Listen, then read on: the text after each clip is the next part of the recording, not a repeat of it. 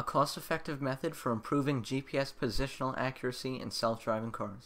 Self-driving cars are the future of driving, and according to the NHTSA, they'll prevent more than 90% of all accidents. However, since these cars rely so heavily on GPS, GPS technology must reach a higher level of accuracy before these cars become consumer products. Currently, a GPS receiver in an open field can pinpoint your location to about 15 meters, but in an urban setting this error is amplified to about 50 meters. So the objective of this project was to create a GPS system that would increase the accuracy of GPS positioning while being more cost effective than current methods of improving GPS positioning. The system that I created consists of a GPS receiver, a digital magnetic compass, and a software program that takes the data from these two sensors and uses that to calculate the new corrected position.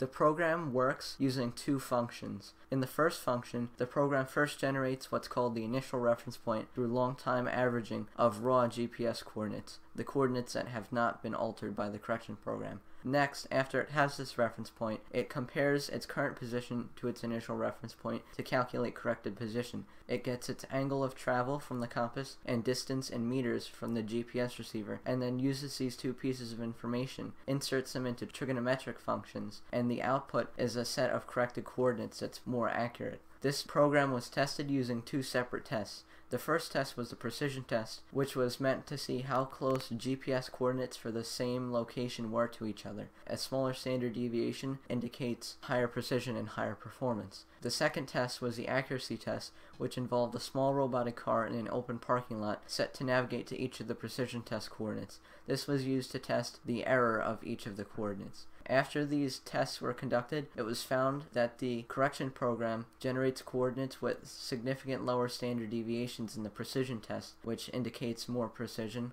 and the accuracy test showed that while the raw coordinates were found to have an average error of 23 meters, the corrected coordinates were found to have an average error of 8 meters. This compared to Google Maps coordinates, which had an average error of about 20 meters. So the objective of this engineering project was reached. This system is both more precise and more accurate than an unneeded GPS receiver.